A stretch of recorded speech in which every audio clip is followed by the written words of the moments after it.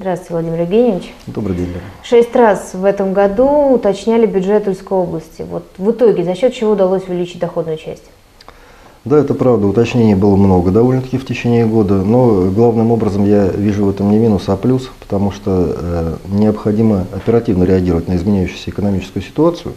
Она меняется достаточно динамично, поэтому как только мы имеем информацию о том, что динамика поступления доходных источников э, увеличивается, разумеется, всегда есть необходимые расходы, которые нужно профинансировать, поэтому, э, скажем так, уточнение бюджета всегда было связано с наличием новых финансовых возможностей. Если говорить о темпах роста собственных доходных источников консолидированного бюджета, подчеркну, то они составили порядка 116%, э, в то время как в целом по Российской Федерации всего 102 с небольшим процента, то есть у нас есть, мы на 14% в среднем, да, выше среднего показателя? Мы занимаем третье место в Центральном федеральном округе по росту собственных доходов. Не, прошу прощения, третье место в России и первое в Центральном федеральном округе. У нас обеспечен рост практически всех доходных источников, это основных. Э, это налог на прибыль, то есть наши предприятия показали неплохую динамику. Конечно же, в разных отраслях ситуация складывается разная. То, что касается Тульской области, да, у нас прирост весьма, весьма существенный. Опять же, подчеркну, по сравнению с 2012 годом. Но это за счет, наверное, таких крупных промышленных предприятий, да, все-таки? Да, это крупные промышленные предприятия. Не последнюю роль здесь сыграла эффективная работа управления налоговой службы по Тульской области, которые достаточно э, эффективно в рамках контроля экономической работы доначислили дополнительные налоги и, и удалось их взыскать. Если говорить о налоге на прибыль, это один доходный источник, который значительно вырос. Второй доходный источник, который вырос достаточно значительно, это поступление акцизов. Не последнюю роль здесь сыграла наша Балтика, которая наращивает объемы производства подакцизной продукции. Э, и развертывание нового предприятия. У нас есть фирма «Медведь», которая выпускает ликероводочную продукцию. Это э, также производитель подакцизных товаров. Э, с точки зрения структуры доходных источников у нас самый большой удельный вес порядка 29%. Это налог на прибыль, порядка 28% это акцизы, налог на доходы физических лиц тоже примерно на том же уровне. Если говорить о налоге на доходы физических лиц, то здесь есть э, четкая взаимозависимость между ростом заработной платы, как мы прекрасно понимаем, и налогами с нее. То есть налог на доходы физических лиц растет, разумеется, Э, в прямой зависимости от роста заработной платы. А поскольку мы занимались указами президента, в том числе увеличением заработной платы в бюджетной сфере, то часть средств, которые уходят из бюджета, возвращаются в форме налогов обратно в бюджет. Бюджет Тульской области около 50 миллиардов. Вот в сравнении с другими субъектами именно Центрального федерального округа много, мало. С точки зрения общего объема, ну, э, здесь э, впрямую сравнить много или мало. Да, мы в серединке в ЦФО, мы где-то по доходным источникам из 18 субъектов Российской Федерации Восьмое, девятое, седьмое там колеблется в зависимости от того, какие параметры посмотреть. То есть мы, мы середнячок по объему собственных доходов. Э, но в то же время, в то же время сравнивать нужно не объем собственных доходов, а в том числе и расходные обязательства. То есть... Вот по расходным обязательствам. Сейчас перед всеми субъектами стоит задача к 2016 году все указы президента выполнить. Вот бюджет Тульской области выдержит? Там даже не к 2016 году, значительно более длинный срок, там до 2018 года ряд задач поставлено. Если говорить о трехлетнем бюджете, я вам э, скажу следующее. Не, э, скажем так, ни один, наверное, бюджет субъекта без федеральной помощи в полном объеме одолеть те высокие планки, которые поставил президент, наверное, не в состоянии. Э, потому что доходная база бюджетов субъектов ну, не сильно велика. Э, я бы сказал следующее. Как показывает практика 2012 года и 2013 года. Нам достаточно активно помогает федеральный центр. Если из собственных доходных источников, вот возьмем, например, чисто прирост заработной платы, то, что делалось в 2013 году. Э, собственных доходных источников было на эту цель направлено, ну, не ошибусь, где-то порядка миллиард триста, миллиард четыреста, это доходы бюджета области. В то же время свыше 900 миллионов – это помощь федерального центра в виде бесцелевой дотации. Да, значительно. Вот. Конечно, нас беспокоит тот факт, что в целом в размере эта дотация остается примерно на том же уровне, вот на 2014 год запланировано. А Но по удельному весу обязательств стало около 4 миллиардов. То есть, если первоначально я вам говорил, чуть больше двух было, вот 900, приплюсуем и 1,3, 1,4. И как же выполнять? А, в таком случае мы будем искать внутренние э, резервы. Э, возможно, выжимать придется какие-то программы, потому что задачи, поставленные президентом, и э, задачи, которые поставлены губернатором, первоочередной вопрос – это выполнение майских указов президента. В 2013 году исполнение бюджета на уровне 95%, правильно?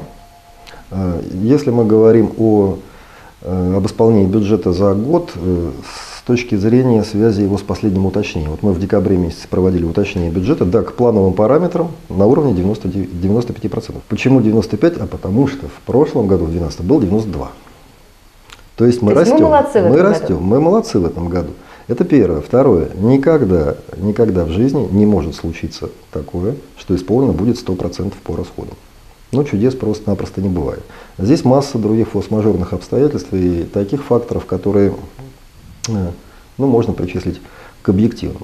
Э, К примеру, простой пример. Поступление средств, которые запланированы на декабрь и на ноябрь. Ведь налоги поступают в том числе и в ноябре, и в декабре.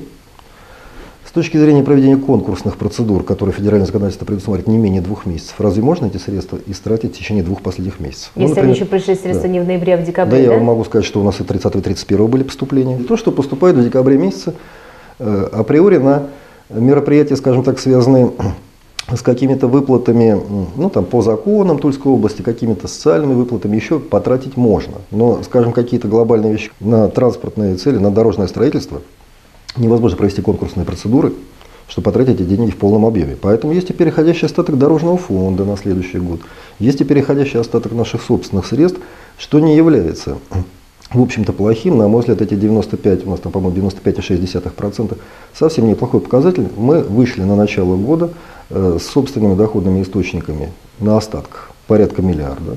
Мы прекрасно понимаем, какие в стране налоги в первую половину января. Какие могут быть поступления в первой половине января? Абсолютно никакие.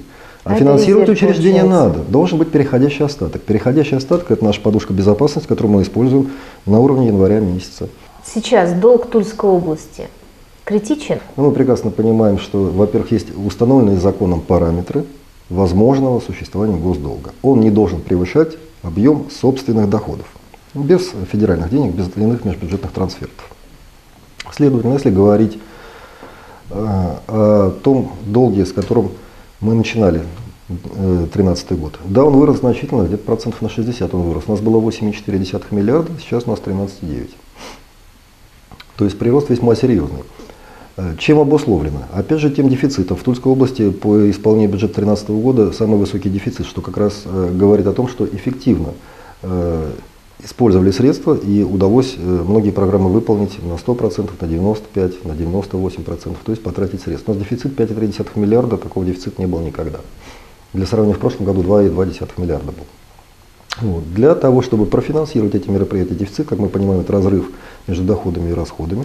Для того, чтобы каким-то образом насытить деньгами эту недостающую разницу, мы должны заимствоваться на рынке, на внешнем рынке. Что и происходит. Мы размещали облигационный займ. Другой вопрос, Ведь успешно, насколько я помню, да? Успешно. У нас один из самых лучших результатов 7,98%. Это наш купонный доход. Мы прекрасно понимаем, что длинные кредиты даже в банковской сфере э, под такой процент взять абсолютно невозможно. Вот, поэтому говорим о приросте госдолга. Да, объективно он прирастает. Но если говорить о соотношении объема государственного долга с собственными доходами, то у нас же и собственные доходы растут, мы с вами уже об этом говорили.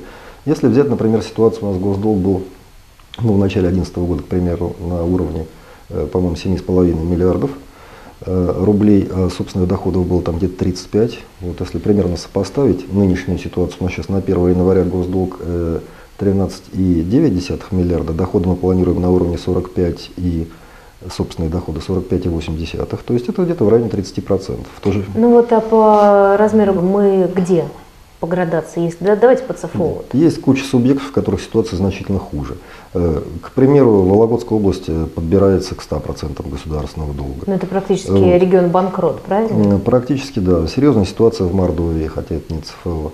Вот. Очень серьезная ситуация с размером государственного долга у наших ближних соседей у Калуги. Процент не скажу, но значительно выше, чем у нас в объеме собственных э, доходных источников. То есть наши 30% в настоящий момент, э, я бы сказал, не вызывают особенно серьезной озабоченности. А будет ли в 2014 году расти размер долга, госдолга? Потому что есть же вот это понятие неконтролируемый долг, который, вот, которого все и боятся. Нет, вот этот неконтролируемый долг, есть законодательно установленный предел, не выше 100% собственных доходов. Это раз. Вот, то есть резерв у нас впереди большой, но никто не собирается заимствоваться на, именно на таком уровне, чтобы догонять в данном случае негативно Вологодскую область. Речь идет немножко о другом. Э, рост госдолга, во-первых, должен иметь нормальное соотношение, 30% у нас это нормальное соотношение. В течение года он колеблется, он бывал в течение этого года и 22%. Все зависит от временных точек, э, на какие мы расставляем акценты с точки зрения привлечения заимствований. А на что мы расставляем акценты?